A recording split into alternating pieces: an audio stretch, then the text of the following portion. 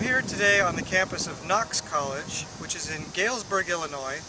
It's a relatively uh, rural area, small town, uh, agricultural town. Illinois is a very agricultural state.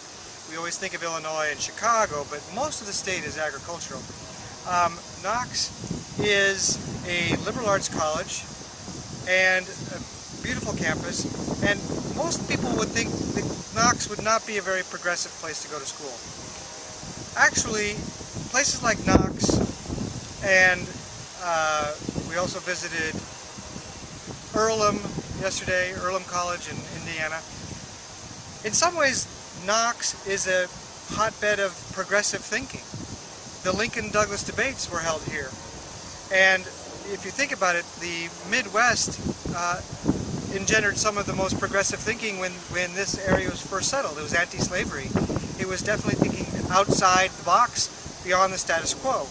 Certainly in a place like this, you're going to have people who come from the surrounding states. Many of the students who come here are uh, within, say, 300 mile drive.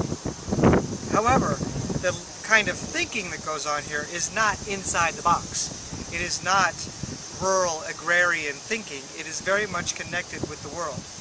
Uh, Knox has that tradition as, and, and the students and the faculty here uh, do a lot of uh, individualized research. This is a very strong academic environment. Yes, it's a little further afield, shall we say, than many other uh, colleges that may be more suburban or urban, but don't let that fool you that the kind of thinking that goes on on a campus like this is uh, relatively status quo. It's not. You're going to be challenged here. You're going to be um, focusing on learning. And isn't that what your education is all about?